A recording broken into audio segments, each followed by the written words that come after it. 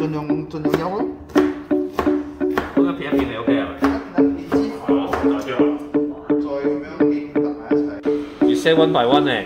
어, 선생님, 뷰 by 뷰. Damn you.